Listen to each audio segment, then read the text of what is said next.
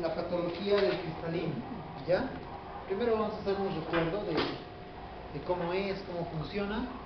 Vamos a ver anomalías de forma, de posición y la única anomalía de transparencia que tiene el cristalino.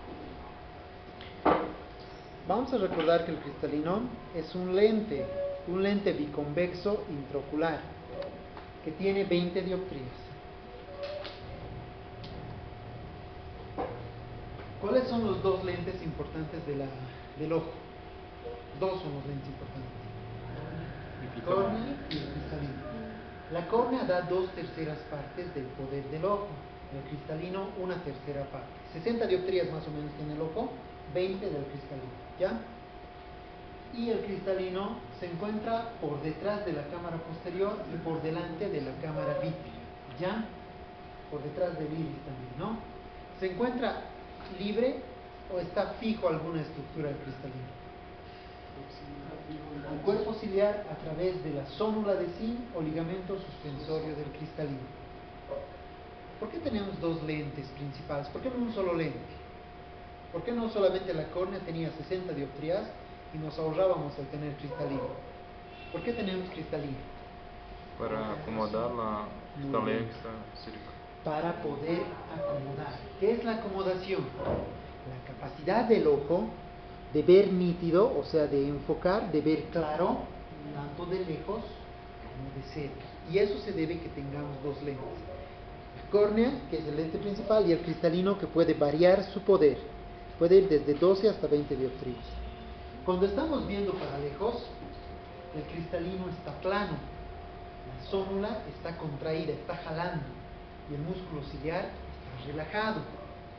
Cuando vemos para cerca, el cristalino está abombado, está más gordito, ¿ya? Y la zónula se relaja, no está contraída porque el músculo ciliar se ha contraído. La posición de reposo es la visión lejana, con el músculo ciliar relajado.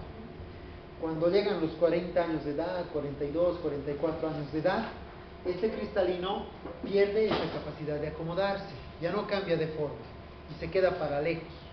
Y de cerca ya vamos perdiendo la habilidad de poder ver claro, tenemos que ir alejando hasta que no alcance el brazo. ¿Qué se llama eso? Presbicia. Presbicia o presbiótica. Doctor, Dime. eh, una vez tú has dicho a nosotros que una persona que tiene miopía va a ser librada de la presbicia, Sí. ¿es? Sí, se va a librar de la presbicia, con certeza. ¿Por qué?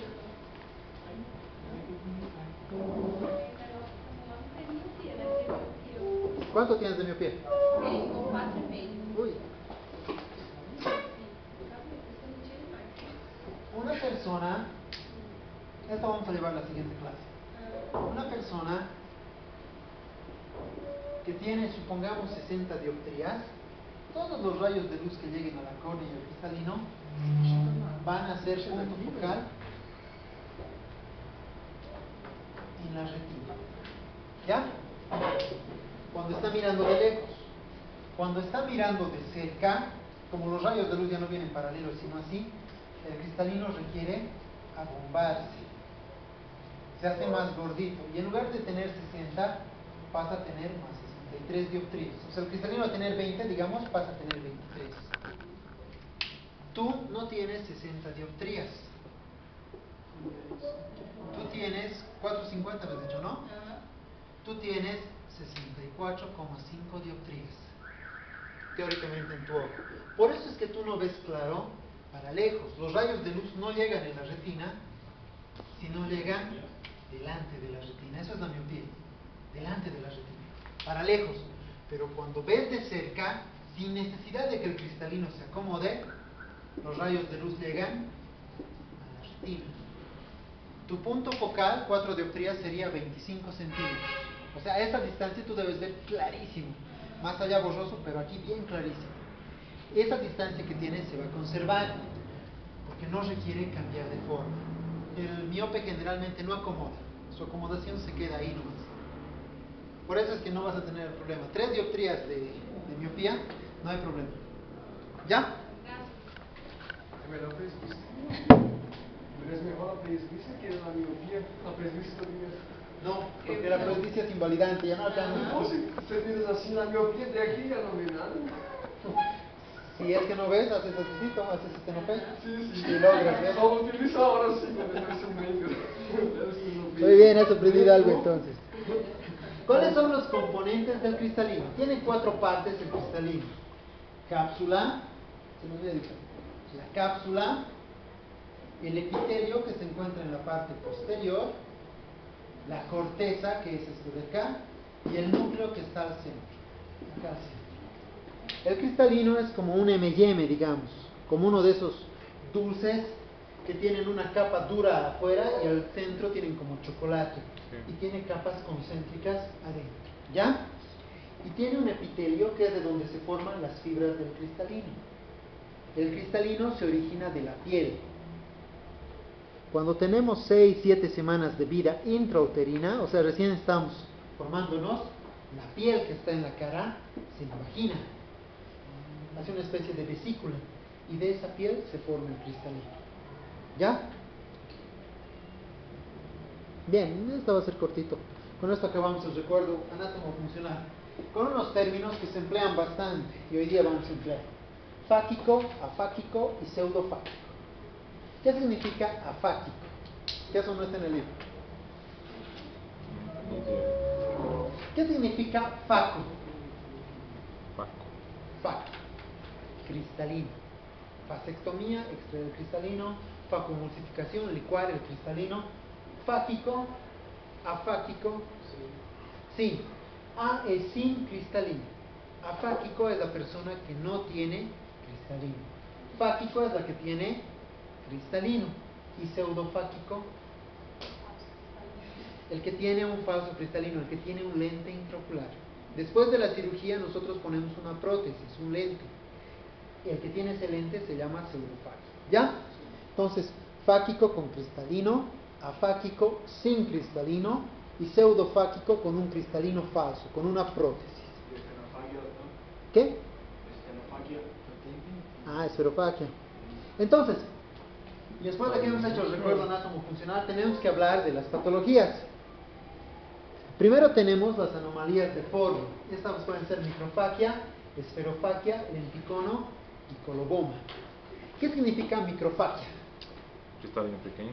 Cristalino pequeño. Esferofaquia, Cristalino cristalino redondito. El cristalino es como un M&M, como les puse. Como una lenteja. O sea, esta formita, ¿no? No es redondo. Cuando el cristalino es redondo, se habla de esferofaquia. ¿Contesta tu pregunta? Esferofaquia es que el cristalino es más redondo. Debería ser con esta forma. Así. Esfeno. Con N. Sí, espero que es por la miopía que se da por ustedes, que era por índice, que era por el... Miopía de índice. Por esferofaquia debe ser. Yo leí en el libro, ¿Seguro? en el libro que leí de esferofagia. ¿No estará mal traducido? ¿Qué página? Creo que es casi el último del libro, lo último de amiopías, Ya, vamos a revisar, pero esferofaquia. a esferofagia. Esferofaquia, esfenofaquia no he escuchado. Y tal vez al traducir o al escribir han puesto mal. La esferofaquia, que el cristalino sea más redondito, provoca miopía. Eso podría ser. Este, es, por ejemplo, es un cristalino que es esférico y chiquitito. O sea, sería micro esferofáquico. ¿Ya? Lenticono es otra alteración que hay, en la que el lenticono simplemente una parte del cristalino protruye se hace cónico, ¿ven? Y eso provoca alteraciones visuales. Es como si fueran dos distintos lentes, uno por el centro y uno por fuera. Y el coloboma es cuando falta un pedazo de cristalino, cuando no se ha formado totalmente.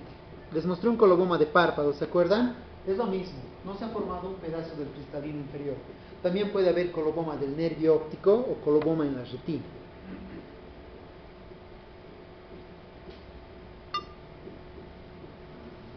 Fácil, las anomalías de forma. Las anomalías de posición son dos. Subluxación y luxación.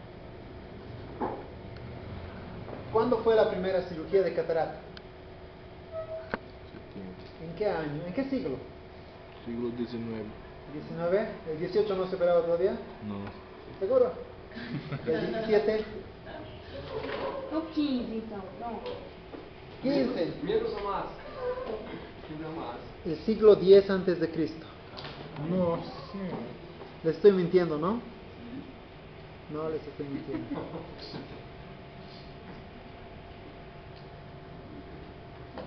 Esta es una foto, bueno, no es foto, ¿no? Porque en esa época no tomaban fotos. Pero es una imagen de cómo operaban?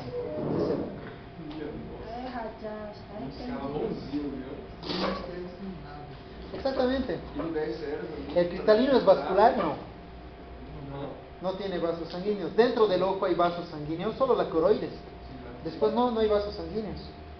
Si yo pincho el ojo por el limbo o pincho el ojo por el por la pars plana, no voy a lastimar, no va a sangrar. La primera técnica de cirugía de catarata que existe se llama coaching y es lo que están haciendo allá. Voy a dibujar el ojo grande para que les muestre, ¿ya? El coaching es una técnica que no usaba anestesia. Quizás le daban de tomar al paciente alguna bebida, algún tranquilizante, ¿no? Para que esté débil. Pero el ayudante le agarraba la cabeza y le abría el ojo, la- paro. Y con una aguja, el cirujano entraba a nivel del limbo y rasgaba. ¿Qué estructura da soporte al cristalino?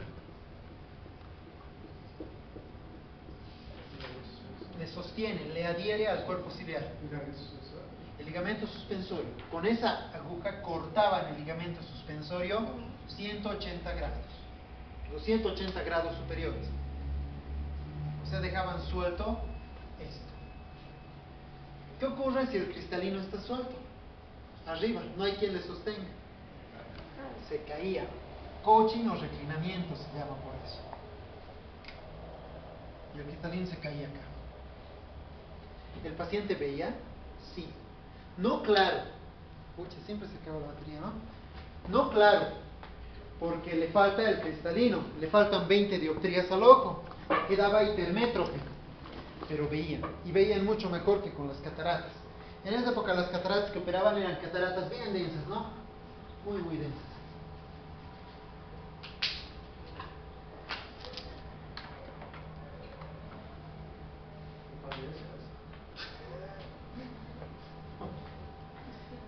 Yo he operado dos perritos acá así. Los perritos pueden tener catarata, entonces con eso, con coaching. Ya no se usa. En algunos países muy, muy pobres dice que todavía se puede emplear, pero me parece que es parte de la historia, ¿no? Ya no justifica el hacer este tipo de cirugía. Con una aguja entonces luxar. ¿Se entiende? Sí. La luxación y subluxación son lo mismo. Solo que en la subluxación no se ha caído el cristalino totalmente, sino solo un poco. Si se fijan, el cristalino está desplazado hacia abajo, pero está todavía cubriendo el eje visual, la pupila. O sea, aquí hay cristalino. Aquí no y aquí sí. En la luxación es cuando se ha caído totalmente, cuando ya no hay cristalino. ¿Qué puede causar la subluxación o luxación? Puede haber causas congénitas, causas traumáticas o secundarias a procesos oculares. Hay una enfermedad que se llama pseudoexfoliación. Las proteínas de la zónula se van degradando. Eh, no se sabe por qué, pero se hacen más débiles, la zónula se laxa y se puede caer. En los que soplan vidrio se produce la exfoliación por el calor extremo, porque soplar vidrio están expuestos a calor a unos hornos bien fuertes, no hay radiación infrarroja. Trauma, lastima la, la zónula y también puede luxarse. Y algunas personas nacen simplemente con ese problema. Principalmente los que tienen Marfan y Weil Marchesán. Abraham Lincoln tenía Marfan y tenía alteraciones oculares relacionadas con eso, con Marfan. Los que tienen Marfan son delgados, altos, pectum excavatum, arachnodactilia, ¿no es cierto? Abraham Lincoln tenía características. Causas congênitas traumáticas é de Luxación y subluxación. La subluxación es el paso previo a la luxación. Una luxación, una subluxación puede convertirse en una luxación. ¿Ya? Este es un video de un paciente que recibió un golpe, un puñete. Y si se fijan, tiene una subluxación. ¿Ven dónde está la subluxación? ¿Dónde? Partida ahí, ¿no? Sí, ahí. ¿Ven? Como un arito. Todo esto es cristalino, pero en este lugar no tiene. Y si se fijan, el iris tiembla. Bueno, ya a veces un poco. Cuando él mueve el ojo, su iris y su cristalino tiemblan. A ese movimiento se le llama iridodonesis y facodonesis. Y son los signos de la luxación y la subluxación.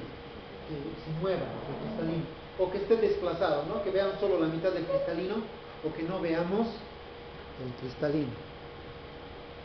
Los síntomas de la luxación y de la subluxación dependen del sitio del cristalino y de cuán luxado está. Si es que yo tengo un paciente, esta es la pupila, y solamente está luxado de forma de que se ve un rebordecito, ¿va a tener alguna alteración visual? Cuando esté muy dilatada la pupila, quizás, ¿no? Pero no, probablemente esté sintomático, porque no es una eh, subluxación marcada. Si esta es la pupila y aquí está el cristalino, ¿va a tener alteración? Sí, va a haber doble. Cuando hay subluxación del cristalino hay diplopía monocular. Por donde hay cristalino el paciente ve claro, por donde no hay cristalino ve como un hipermétrico. O sea, ve dos imágenes, ve doble, le incomoda. Esa es la situación. ¿Y qué pasa si el cristalino, en lugar de caérseme hacia la parte de atrás del ojo, se me cae y se me engancha en la pupila? Glaucoma, porque no va a poder pasar el humor acuoso que se está formando aquí hacia la cámara anterior para drenarse, ¿lo ven? Va a provocar glaucoma. ¿Y qué pasa si en un golpe, aparte de que el cristalino no ha caído bien, no se ha luxado bien, se ha reventado? Hay ruptura cristalina. Va a haber uveitis. El cristalino hemos dicho que se forma de la piel, ¿no cierto? Se ha imaginado. Esas células que están ahí adentro, el cuerpo no las conoce. El epitelio cristaliniano no lo conoce el cuerpo, reconoce como antígeno. Cuando hay una ruptura de la cápsula y estas células salen al contenido del ojo, el cuerpo reconoce como si habría una infección, como si fuera algo extraño al ojo, y empieza a atacar provoca una uveitis fuerte que se llama uveitis facoanafiláctica o facoanafilaxis. Y es la inflamación por la ruptura del cristalino. ¿Ya?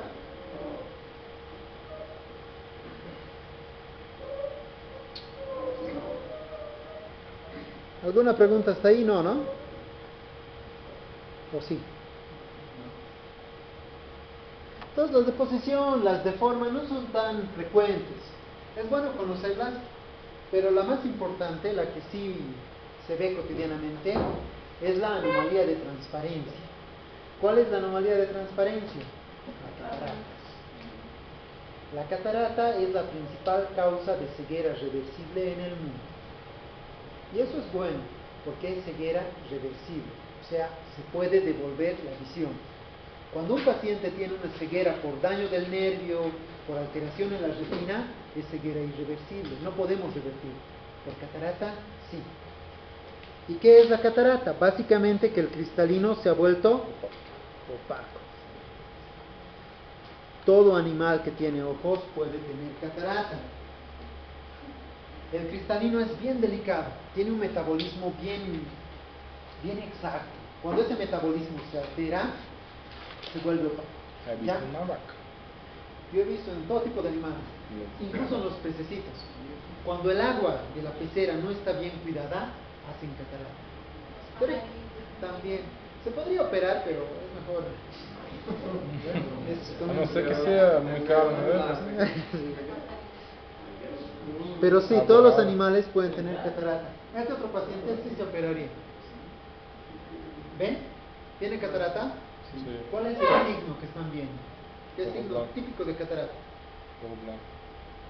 Eh, ya dicho un poco más técnicamente, Leucoma. ¿Qué diferencia entre leucoma y córnea. Bien, ¿cuál es el de la córnea? Eh, leucoma. Leucoma. Leucoma. Coria es pupila. Isocóricas, por ejemplo, cuando dicen iso iguales, ¿no? Similares. Esto es leucocoria. Ojo blanco, pupila blanca, pero dicho en términos médicos. Leucocoria. En persona mayor, leucocoria es sinónimo de catarata. En niños no, pero eso vamos a hablar en otro momento. ¿Cuál es la principal causa de catarata en los seres humanos?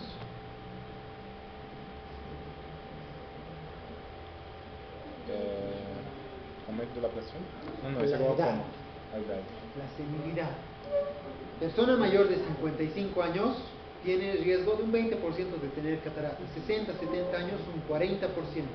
80, 90 años un 80%. Más de 100 años tiene catarata con certeza, un 99%. Pero ¿por qué? Porque el cristalino se envejece. Es Ah. una de las enfermedades relacionadas a la edad. Ah, Tres son las enfermedades relacionadas a la edad en el ojo. Catarata, glaucoma y degeneración macular relacionada a la edad. Entonces se va, des- se va desgastando.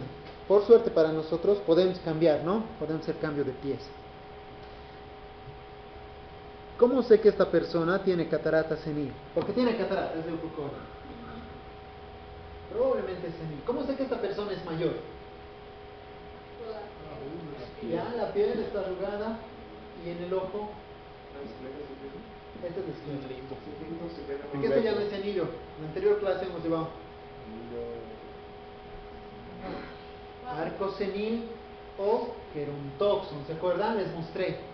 Les dije que era una de las degeneraciones. Bueno, aparte de la senilidad, otra causa de cataratas son los traumatismos. Traumatismos, golpes. Un golpe contuso, un golpe perforante pueden provocarme catarata. Basta que me rocen el cristalino y me provocan catarata. ¿Y qué pasa si el golpe, aparte de provocarme catarata, me ha roto el cristalino? ¿Es peligroso que se rompa el cristalino? Sí, porque hemos dicho que puede hacer anafilaxis, uveitis. Entonces, hay que ver. Si la ruptura cristaliniana es chiquita, a veces se sella sola. No es necesario hacer nada, observamos. Pero si no se sella, hay que sacar urgentemente porque puede provocar uveitis y glaucoma. ¿Ya? Otro tipo de traumatismos también pueden provocar catarata. Si les cae un rayo, por ejemplo, la persona va a tener catarata por la radiación que ha atravesado. Nosotros para operar, en, cuando era residente, poníamos el ojo de chancho, el ojo de chancho se aprende a operar, poníamos el ojo de chancho al microondas, lo dejas 30 segundos, 40 segundos y se hace catarata. La radiación también puede provocar cataratas, ¿ya? Metabólicas, las enfermedades metabólicas pueden provocar catarata. De estas la más importante es la diabetes. Puede haber catarata por diabetes. ¿Ya? Las otras también, ¿no? Pero esa es la más frecuente. Tóxicas. Hay medicamentos como los corticoides que pueden provocar catarata. ¿Qué tipo de catarata provocan los corticoides generalmente? Una catarata subcapsular posterior. Ahorita vamos a hablar de la ubicación de las cataratas. Generalmente es de inicio subcapsular posterior. También las cataratas de diabéticos pueden iniciar como subcapsulares posteriores. Y otras cataratas tóxicas pueden ser por clorpromacina, mióticos, por sales de oro, o sea, sustancias tóxicas, incluso algunos metales. Las cataratas secundarias son en las que hemos encontrado alguna enfermedad en el ojo, alguna patología ocular. ¿Cuál es la causa más frecuente de catarata secundaria? La uveitis anterior crónica. Entonces, la pregunta del examen iría así. ¿Cuál es la causa más común de catarata en el ser humano? Eh, edad. Senilidad. Senil. Esa es la principal causa de catarata en el ser humano. ¿Cuál es la principal causa de catarata secundaria? Uveitis anterior crónica. No se van a confundir, ¿ya? Eso es casi con certeza pregunta de examen, de alguna o de otra forma. Então a mais frequente é a senil. La senil. A secundária. Uveitis anterior crónica. Las cataratas también pueden estar asociadas a síndromes, síndrome de Down, distrofias, esas cosas, o pueden ser congénitas, generalmente asociadas al TORCH. Complejo TORCH se llama, ¿no? Toxoplasmosis, viola, chagas, pueden provocar catarata. Y aparte de la catarata, otras alteraciones en el ojo, en el sistema nervioso central o en el bebé que se está formando. Mientras más pronto ha tenido la infección la madre, más riesgo hay de que tenga problemas. A veces nacen así con cataratas simplemente porque sí.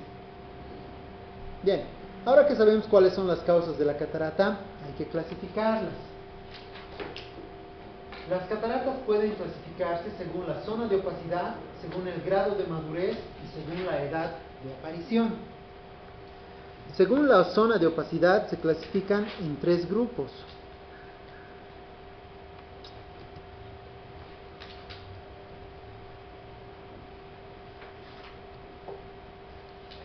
LOX, ¿dónde LOX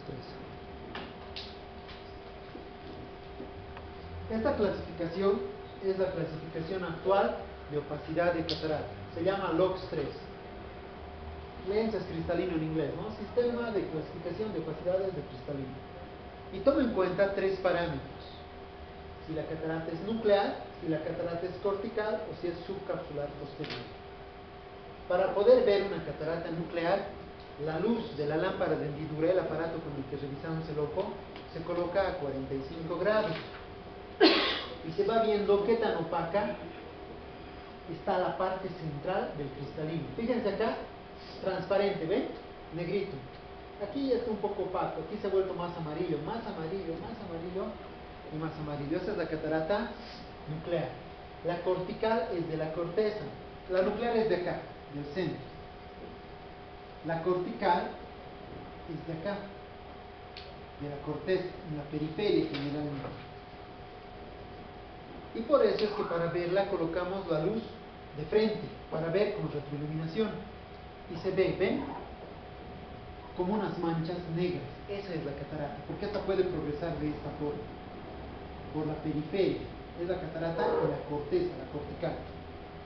Y la subcapsular posterior es la catarata que se encuentra acá, en este lugar, en la parte posterior del cristalino. Igual se ve por retroiluminación como una mancha cada vez más oscura en la parte central.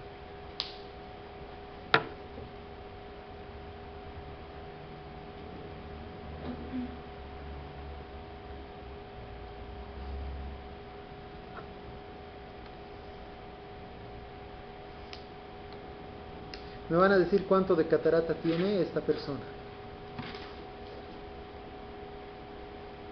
¿Se ve? Esta es la pupila, estamos haciendo el corte óptico y se ve el cristalino. Del 1 al 6, ¿cuánto de catarata le daría?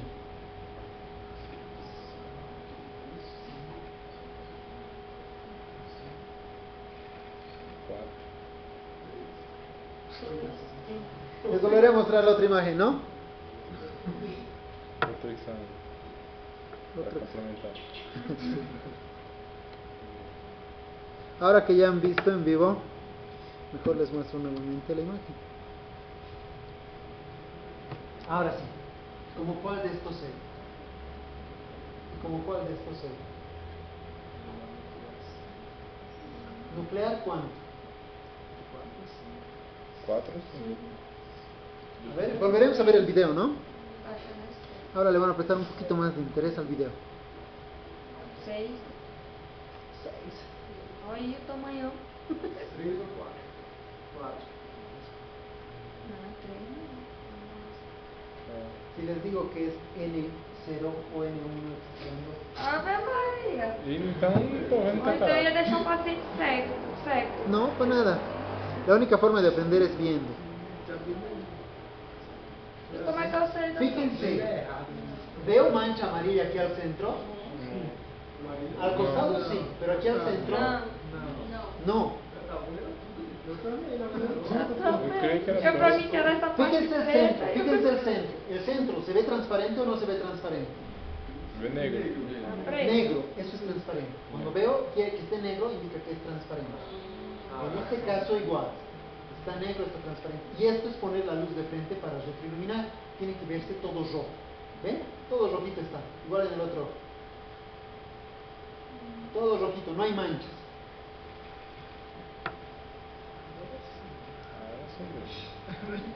Entonces, ¿como cuál de estos está? Cero, cero, cero. Como este, máximo como este, ¿no ven? Sí, Esa es la catarata. Y en el otro caso está como este. sí. No tiene manchas. Les voy a mostrar otro video y ahora me van a decir aí. cómo se ve. Está bien. Amarelo. Ahora sí se ve amarillo, amarillo. Ese sí tiene cataratas, un año 5, año 6. De esa forma nosotros podemos decir que tan opaco está comparando con ese patrón, con esas fotos que tenemos y ver cuánto de catarata tiene. Mientras más densa la catarata, más síntomas manifiesta.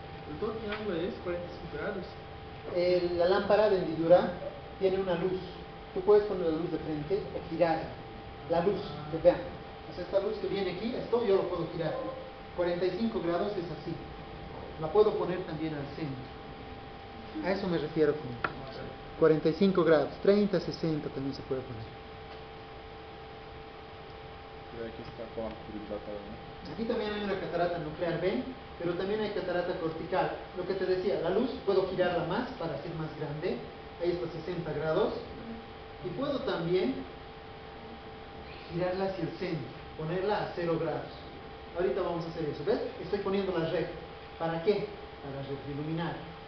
¿Ven estas líneas aquí? Esa es la catarata. Esa es catarata cortical. Cuando está bien se ve, se ve rojo, ¿no? Exacto, no tendría que ver esas manchas. Cuando yo veo esas manchas, quiere decir que tengo catarata. Catarata cortical. Aprendí la Sí. Bueno, entonces las cataratas, de acuerdo al lugar donde está opaco, pueden ser nucleares, subcapsulares o corticales principalmente. Pero también puede haber lamelares, polares y de las suturas embrionarias, que no tienen relevancia clínica. Ya ese tipo de cataratas no nos preocupa. Según el grado de madurez, las cataratas pueden ser inmaduras, en evolución maduras y hipermaduras. Esa clasificación se usaba antes. Las cataratas se operaban solo cuando estaban maduras. Pero antes la cirugía de catarata eh, no era como ahora. Ahora se puede operar cataratas desde NO2, NO3, o sea, nucleares incipientes. En esa época operaban cataratas bien densas. Esta es un ejemplo de catarata madura en la que la corteza está opaca. Fíjense, no se puede hacer el corte que hacíamos para poder ver el núcleo, ¿ven? Toda la catarata está densa. Todo el cristalino está cataratoso. Entonces, esta catarata se llama suprahard. Es una catarata que va más allá de mi clasificación. Es una catarata dura, muy dura. Pra quem? Supra, supradura, hard, supradura, que se sale de la clasificación. Entonces, la primera técnica de cirugía de catarata que aprendimos fue coaching. Más o menos por 1900 dijeron, y si hacemos un corte, cortamos por aquí, y en lugar de reclinar el cristalino, de hacerle echarse, me lo saco. Esa es la técnica intracapsular. Se saca el cristalino cortando la zónula, aquí está la zónula. Lo que se hace es cortar la zónula arriba, cortar la zónula abajo y sacar todo el cristalino, incluida su cápsula. ¿Ya? Ese tipo de cataratas eran las que la clasificación era madura, hipermadura, porque solo operaban las cataratas muy densas. Si saco la cápsula, ¿tendría un lugar donde poner el lente dentro del ojo? No, no tengo un buen espacio para colocar. Entonces estos pacientes les colocaban un lente por fuera. Unos lentes como de botella, 12, 20 dioptrías. El paciente veía bien con el lente, pero solo en la parte central del lente. Tenían mucha dificultad. Actualmente esto ha cambiado. La catarata se trata dejando un lente intraocular. Las técnicas actuales dejan un lente dentro del ojo después de la cirugía. ¿Ya? Concluiremos con la clasificación y ahorita vemos las técnicas quirúrgicas. Entonces, ya dijimos según grado de madurez. Según la edad de de aparición, las cataratas pueden ser congénitas, infantiles, juveniles, preseniles y seniles. Esta es la más frecuente, ¿no? La catarata senil. ¿Cuál será la clínica de la catarata? Los signos y síntomas de la catarata. El signo es leucocoria, ¿no? Y los síntomas, el principal es que baja la visión. O sea, la catarata me afecta a la visión.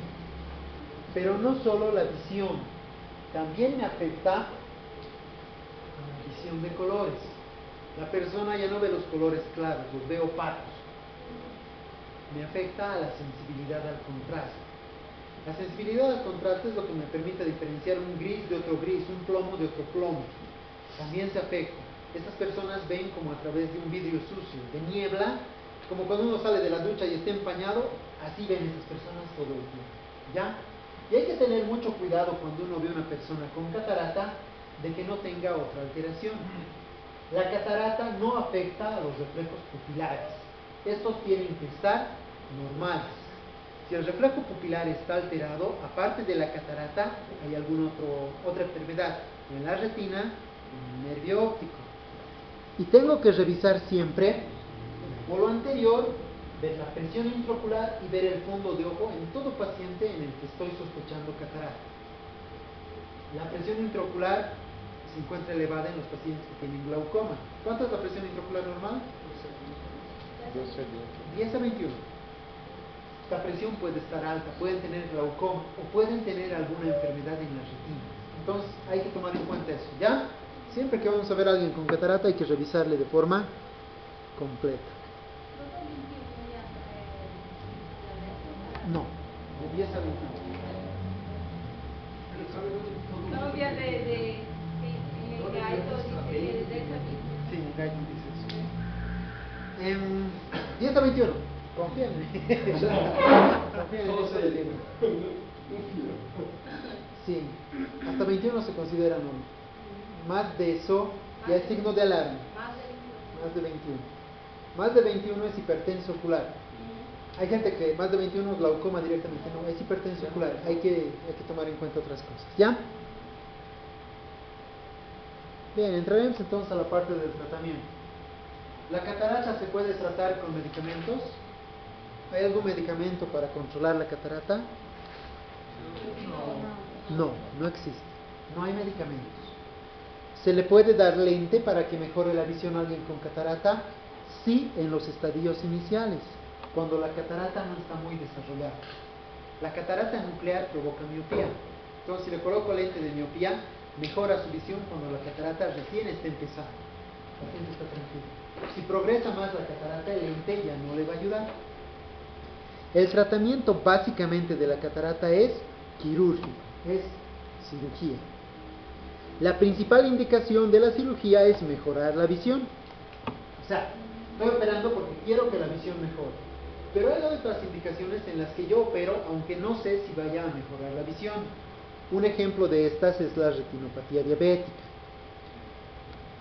Yo tengo un paciente diabético en el que sospecho que tiene daño en la retina y tiene catarata, aparte del problema de la diabetes. Entonces, la catarata no me deja revisar el fondo de ojo, no sé cómo está la retina de este paciente. Aunque no vaya a mejorar con la cirugía, estoy obligado a operarle, a sacar la catarata, a poder revisar el fondo de ojo. ¿Y para? La ecografía se saca la imagen de la retina así. Si es que la retina tiene retinopatía diabética, no te va a mostrar. Y el OCT también requiere que los medios sean transparentes. Entonces, no te va a ayudar la ecografía para diagnosticar retinopatía diabética. Un tumor, un desprendimiento de retina, sí te puede diagnosticar por ecografía. Retinopatía diabética estadio o no.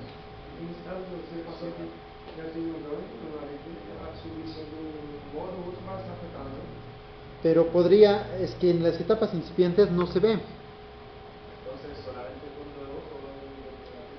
Es el gold standard. Y después de eso, OCT o angiografía. Les voy a mostrar una cosa.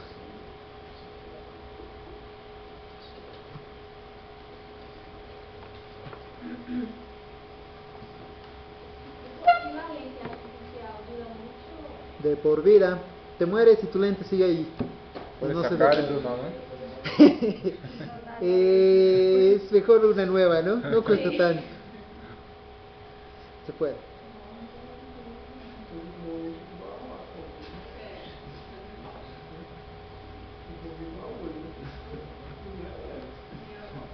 No, es que no quiero uno que tenga más marcado.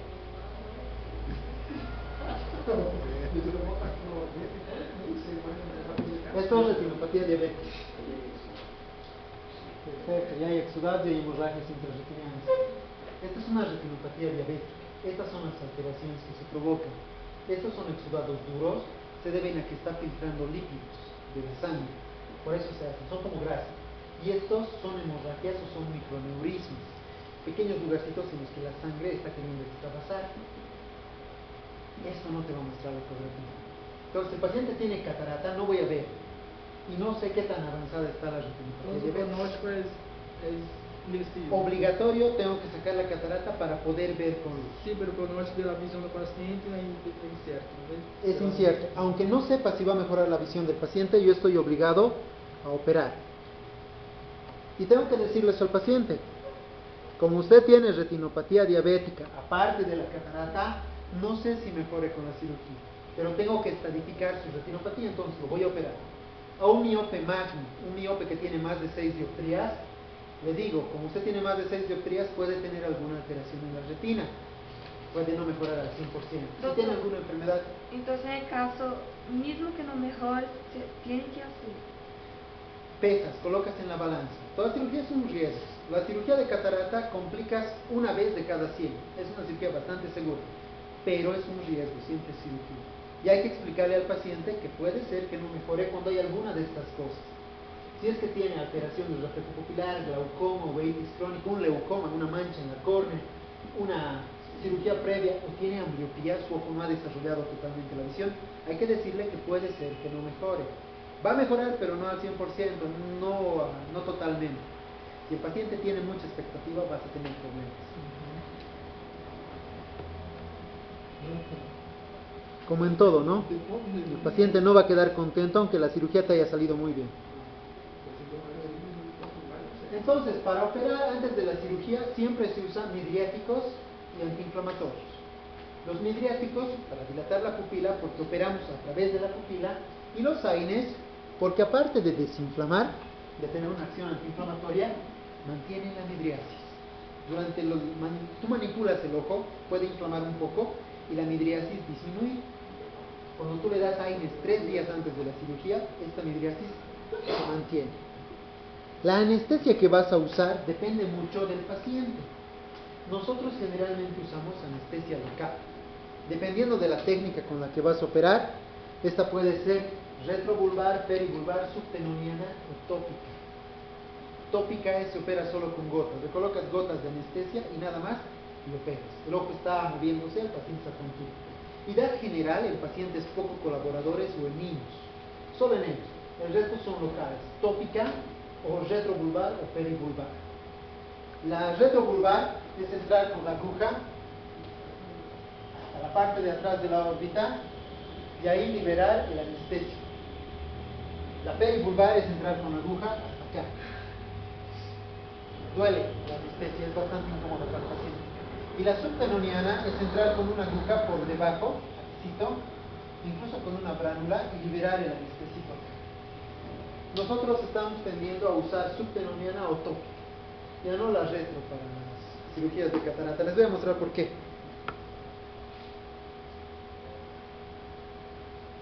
Bien, básicamente la cirugía, como les decía, es sacar la catarata y ponerle un lente artificial. Las técnicas actuales son dos, la extracapsular y la facoemulsificación. ¿Cuál quieren ver primero, la faco o la extra? ¿O les da igual? Aquí tiene video. Las dos tienen video. Sí, vamos, vamos a ver.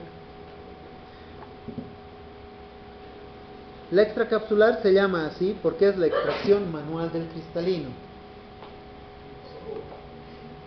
Entonces, este es un paciente, por eso es que ya no usamos muy. Uno de los residentes, al bloquear, ha provocado un hematoma. Por eso es que no se operó ese día y al día siguiente lo operamos nosotros, ¿ya? Por eso es que está lleno de sangre. Sería. ¿Qué? Hiposfagma, exacto, una hemorragia subconjuntival extensa. Y esto se debe a que cuando han puesto la aguja han reventado una venita y ha sangrado. Ese tipo de complicaciones no hay con la subtenonina. ¿Ya? Ven, la catarata es Hay densa, ¿no? Tiene un terigium bastante extenso, pero no se va a tocar. Si tú operas esto, inflama más. Entonces hay que tratar de que no inflame después de la cirugía. Lo primero que se hace en la extracapsular es liberar el borde, el limbo, para poder entrar al ojo. ¿Ya? Con una tijera de Westcott vas cortando la conjuntiva. Peritomía se llama eso. Y se hace una peritomía de 180 grados. La incisión en este tipo de cirugía va desde acá hasta acá. Sí, es bastante durito. Está acordado. Está sedado. Está, eh, no sedado. El ojo está bloqueado. No se mueve, está quieto. Es una retrovulvar. Está despierto, está hablándote, pero su ojo está ahí quieto. Y para que no se mueva está con este fierro. Es un blefarosto que mantiene abierto el ojo. Una vez que tú has hecho el corte, tienes que cauterizar estos vasos, porque si tú abres, se te va a entrar la sangre. Entonces con un cauterio, con una puntita de un cauterio fino, vas quemando. ¿Ven? Se va quemando todo lugarcito que pueda sangrar. ¿Ven, no? Una puntita eso estamos quemando. Y una vez que tú estás seguro que no va a sangrar, haces tu incisión.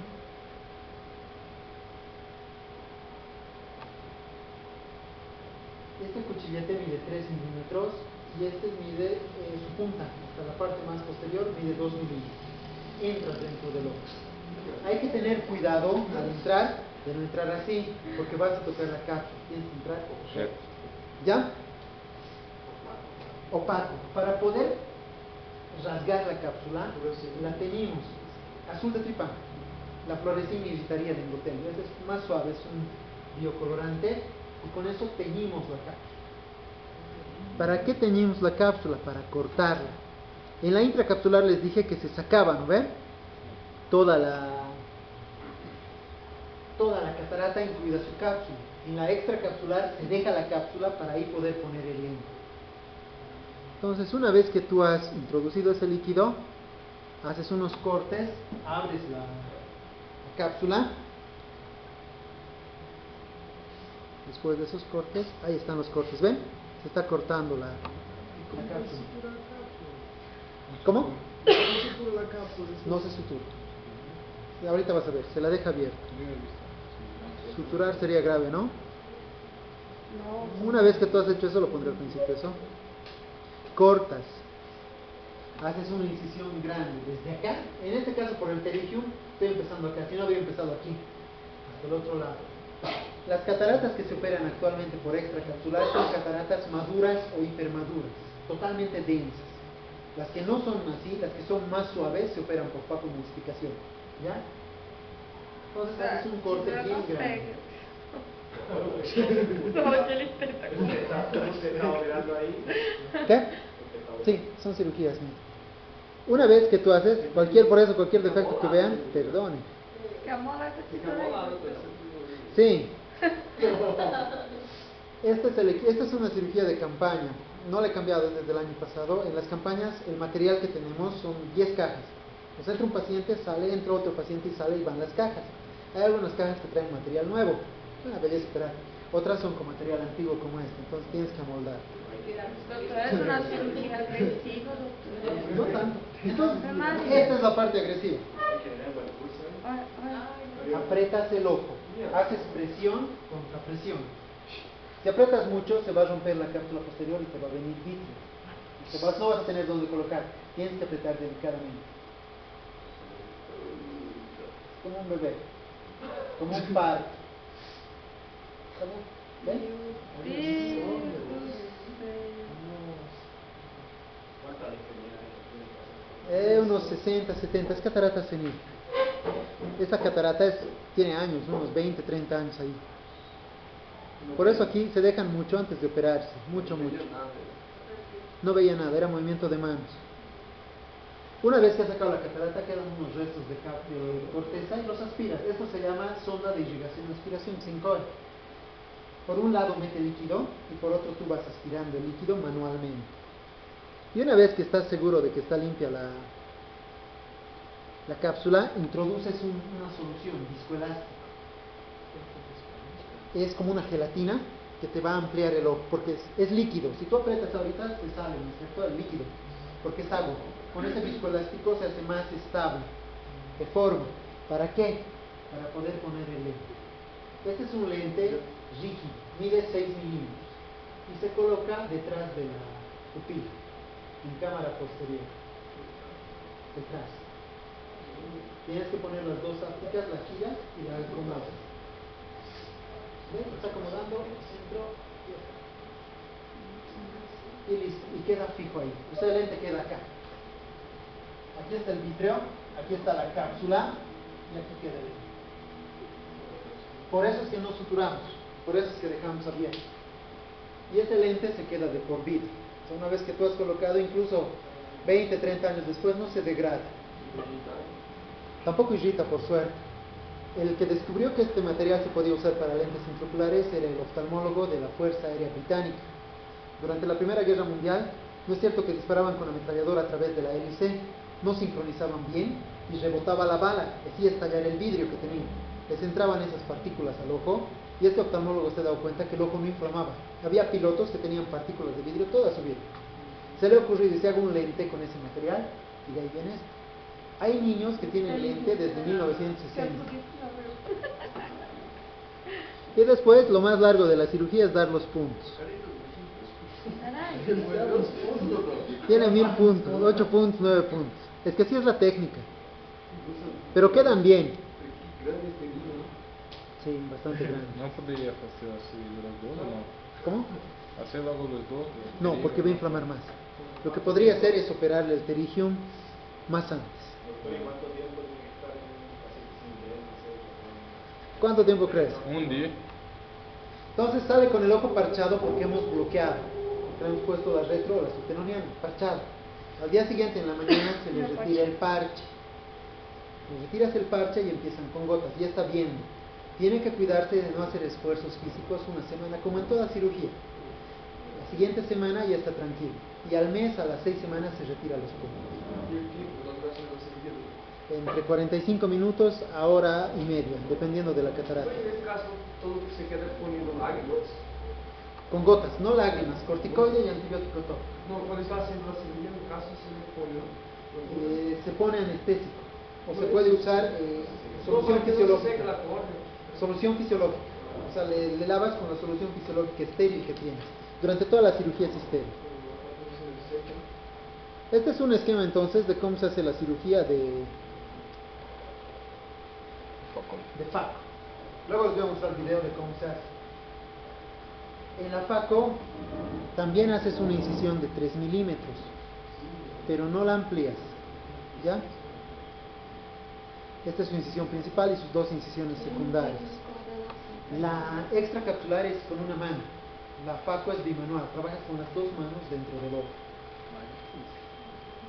Sí, tiene una curva de aprendizaje más alta. Y eso que les decía, ¿no? Se hace, se usa un- una especie de cuchillito para rasgar la cápsula. Se hace un hueco en la cápsula.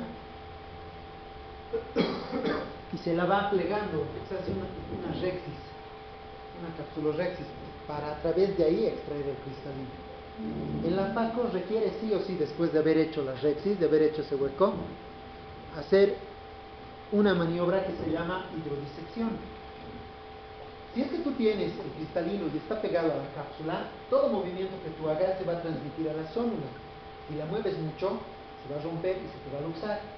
Entonces metes agua para separar con ese agua, para hidrodiseccionar el cristalino. Lo separas de la cápsula, de forma de que puedas manipular el cristalino sin que la tensión y los movimientos se transmitan a la zona. Y con una puntera de ultrasonido, esta puntera vibra, vibra a velocidad de ultrasonido. Al vibrar, emulsifica el cristalino. Vacoemulsificación, que su nombre significa emulsificar el cristalino. Emulsificar es licuar, volverlo líquido. Esta técnica que están viendo es la técnica clásica. Se llama divida en concha. Usas el ultrasonido para hacer surcos y fracturar el cristalino en cuatro partes. Ahorita va a partir en dos, va a hacer otros dos surcos. Lo está girando, ¿ven? Para hacer otros surcos más. Y una vez que lo has partido en cuatro, te lo comes. O sea, ya no haces una incisión grande porque ya no sacas toda la catarata. Te la chupas con esta zona, te la aspiras.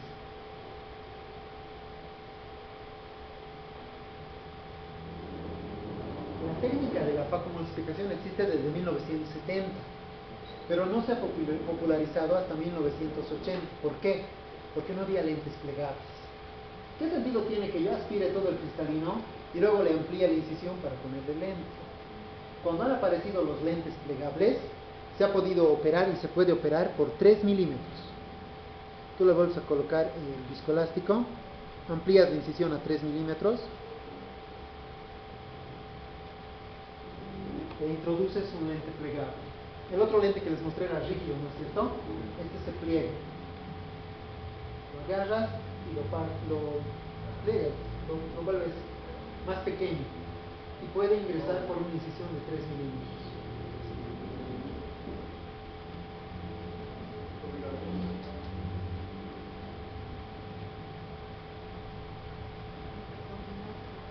y lo introduces por una incisión. Y esa es la cirugía básicamente de, Ay, de. Otto. ¿Qué? Tranquilo. Ya, tranquilo.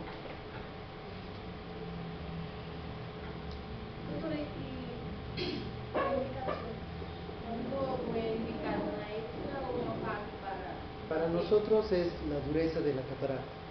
Esa clasificación que les mostré llega hasta NO5, o sea, todavía puedo hacer un corte, indicamos FA, se opera por FA. No puedo hacer el corte, es muy dura, operamos por X. El riesgo es que cuando es más dura la catarata se usa más ultrasonido. Como la puntera vibra, produce calor y eso es nocivo para las células endoteliales. Entonces, si yo uso mucho ultrasonido, puedo tener edema corneal o descompensación corneal. Por eso es que solo usamos en cataratas relativamente blandas. ¿Ya? Pero en nuestro medio no hay mucho de eso. Las cataratas que operamos también son NO5, NO6.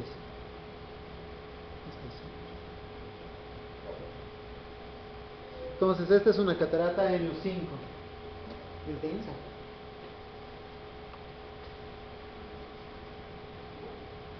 El ojo en esta cirugía está despierto. Y esto que estamos haciendo es para poder manipular. La paciente movía mucho el ojo. Miran a todo lado. Entonces, para poder estabilizarle, le he puesto la anestesia como colchón. De esa forma fijo el ojo y ya no se me mueve.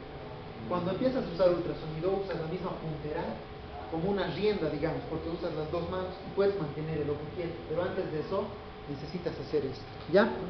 Ahorita está con colorante, ¿ven? Con ese azul de tripán. Una vez que.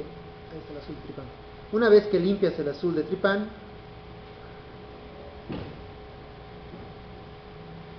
haces las rectas. Ese cortecito que vieron, hace. Nosotros no usamos el cistótomo, esa agujita. Usamos una pinza, utrata se llama. Esta pinza tiene unos como dientecitos hacia adentro. Te permite jalar con un poco más de precisión. Con el cistótomo tienes que ser lentito. Con esto puedes jalar más, hacer trazos más grandes y más precisos. El ojo está con viscoelástico, con esa gelatina, porque si no se me sería, se aplanaría, ¿no? Se vaciaría la cámara anterior de líquido. Falta un paso más para, para terminar, para concluir la, la capsulorhexis. Sí. Eso de la capsulorhexis es mágico. Una vez que has terminado, haces la hidrodisección. Se pone el líquido por debajo. ¿Ven? Para que ese líquido vaya, le dé una vuelta al cristalino y lo libere.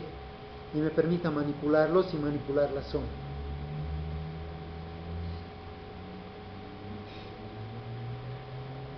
Y una vez que has hecho eso, entras con la puntera del faco. Esta es la puntera. Libera el líquido y al mismo tiempo aspira. Es un pedal de tres posiciones. La primera posición suelta líquido, la segunda suelta líquido y aspira líquido. Y la tercera suelta ultrasonido, vibra la punta. La técnica con la que nosotros operamos no es la técnica que han visto, el divide and conquer. Ven, está suelto el, núcleo, estamos verificando que gire, que esté suelto. Se usa mucho ultrasonido al hacer los surcos. Entonces lo que nosotros hacemos es con el ultrasonido fijar el cristalino y con un cuchillo que se llama chopper, que tiene la punta dentro, cortar.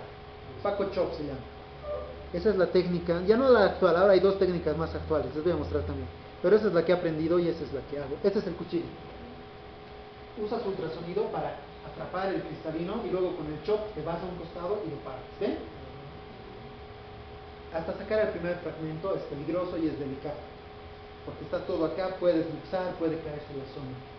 Una vez que has sacado el primer fra- fragmento, los otros fragmentos ya vienen más fácilmente, ya tienes espacio para manipular y te los vas comiendo pedazo a pedazo. Cortas un pedazo y vas chupando. No quiere entrar, das un poquito de ultrasonido y sigues aspirando. Y usas el chopper como una cucharita, digamos, para apisonar. Y vas partiendo, vas partiendo. ¿Ven? Se ha partido el primer pedazo. Sí, pero está, todavía no hemos aspirado, entonces vamos a tratar de un poco más abrir. Hay que aspirar el primer pedazo y de ahí es tranquila la cirugía. Ajá. El riesgo es que hagas mucho ultrasonido y lastimes la córnea. Si no tienes mucho cuidado y te entras atrás al hacer ultrasonido, puedes romper la cápsula posterior. Si rompes la cápsula posterior, el vitro se te va a venir hacia adelante. Vas a complicar. Entonces hay que manipular eh, intracapsularmente. Ni muy arriba, ni muy abajo. Y el viscoelástico te ayuda bastante. Como les dije, estas cataratas son un poco más densas que las que habitualmente se ven. La siguiente que les voy a mostrar no es de acá. Van a ver la diferencia de catarata. Acá son duras, son densas, cuesta bastante operarlas, pero se puede. Como todo en la vida es práctica, ¿no? Pedazo a pedazo, vas comiendo pedacito a pedacito, cuadrante a cuadrante. Ah, demora aí. Sí, se demora en eso, La pero otra después el resto no. A outra é mejor. No, porque en la otra tu incisión es enorme, en esta tu incisión es chiquitita. Si no fuera una catarata tan dura como esta, 15, 20 minutos y acabó la faca. Esta es una la que es bastante densa y ha costado bastante aspirar por esa razón. Bueno, ya está limpio, ¿ven? Sim. Ya no hay catarata, hemos aspirado todo. ¿Cuál es el siguiente paso? El lente, eso es lo que quiero que vean.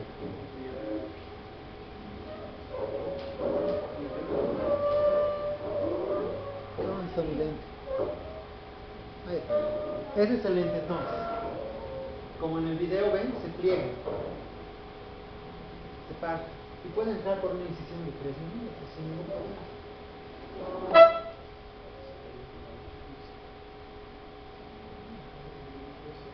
Así de pronto, la acomodas.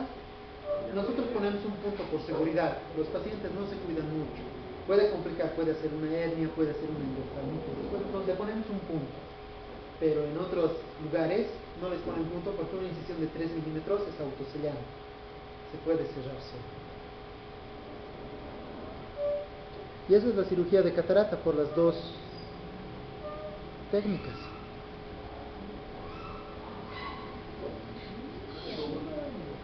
Les cuento que actualmente esto de la FACO, así como les he mostrado, ya no es lo último. Hace cinco años era, pero ahora ya no. ¿Por qué? Todo evoluciona, ¿no ve? Ha aparecido y está queriendo, bueno, queriendo estandarizarse el uso del láser de femtosegundo en catarata. Les voy a mostrar un video que es de un cirujano canadiense y muestra cómo están usando esto.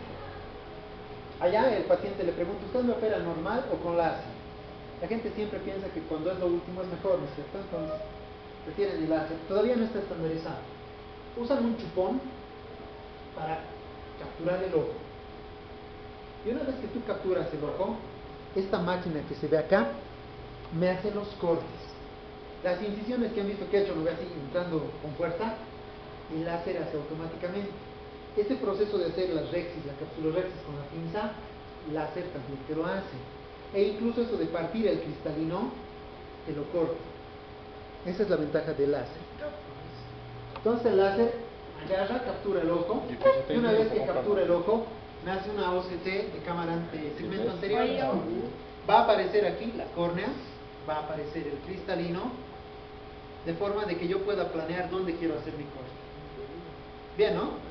Este círculo de aquí es donde yo quiero hacer mi rexis. Como con un joystick puedo mover de lado a lado y buscar, marco, o sea, digo dónde quiero y si quiero más ancho, más chiquito, quiero ovalado, la forma que yo quiero. El láser corta. Y estamos marcando ahora, está marcando la incisión. ¿Ven? Le dice de dónde a dónde quiere la incisión, incluso los planos de la incisión. Si quieren dos planos, en tres planos, aquí está la incisión secundaria. Es lo más interesante, la tecnología esta. Lo más difícil es comprar una vela Bruno, más. esse- 700 mil dólares. Tá explicado porque faço assim eu. Aquí te marca para decirte dónde va a ser los cortes y qué tipo de corte. Y lo único que tú haces después, aquí está acomodando, ¿ven? Quieren tres planos. Quieren una incisión valvulada. Que corte aquí, luego aquí y luego aquí. Y una vez que marcas, te hace el corte. Esas burbujas que aparecen es lo que está cortando, ¿ven? Está haciendo la rexis. Una vez que hace la rexis, me hace un corte en cruz al centro. Va a partir el núcleo, ¿ven? Con láser. Este láser es tan preciso. ¿Cuánto es un, y aquí está haciendo la incisión principal, cuánto es un milisegundo? La milésima parte de un segundo, ¿ven? Un femtosegundo es la milésima parte De un de una milésima de segundo. O sea, si un segundo fuera la distancia de la Luna a la Tierra, un femtosegundo sería la distancia de mi uno. Así de chiquitito es el pulso, así de preciso es. Y después de eso se puede hacer la cirugía. Fíjense una complicación que antes no había. Por el chupón aparece una hemorragia subconjuntival, como el extracapsular, por la presión que hay. Esta catarata es una catarata NO2. ¿Ven? Casi ni es catarata, pero así se operan actualmente. Cuando aparezca el lente multifocal intraocular perfecto, así van a ser todas las que operemos. Ahora el lente que se usa, el lente estándar, es unifocal, solo sirve para lejos o para cerca.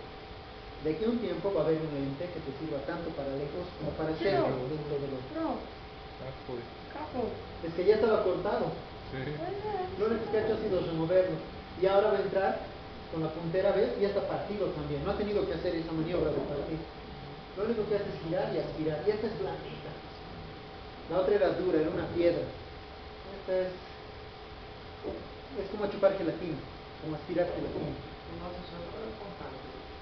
O nosso só para hacer las incisiones. Sí, pero te facilita. Esa parte es lo más difícil de aprender. El hacer la capsulorexis de las incisiones te toma. Aprender a operar extracapsular, 10 cirugías. Aprender a operar pacos son 100 cirugías. Nossa. Entonces, esos pasos son los que más cuestan. A ver. Se disminuye la curva de aprendizaje. Tu pelo 700 mil dólares. Exacto, yo también. No é marca. ¿Crees que vale la pena? No, actualmente no. Todos los trabajos que hay ahora comparan esto con la cirugía estándar. Louco. Son iguales. Lo que dicen es igual hacer la cirugía estándar que hacer esta cirugía. En relación a un cirujano experto. No tiene sentido. Eu pensei que ia todo o processo já. No, no hace todo el proceso. Oi. de poner la que fala. Y ese sería un cambio de paradigma, ¿no? Este sería mucho más sencillo. No, te hace solamente algunos de los pasos.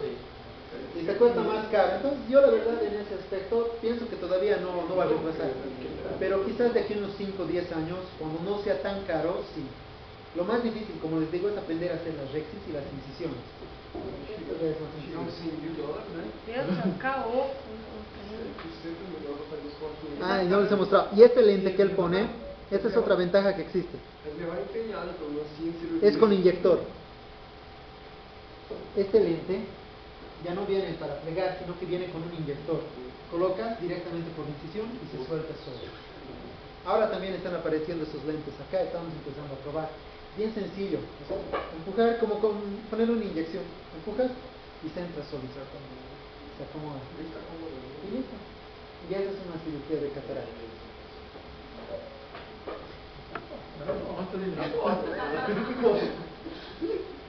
¿Alguna pregunta, duda, comentario?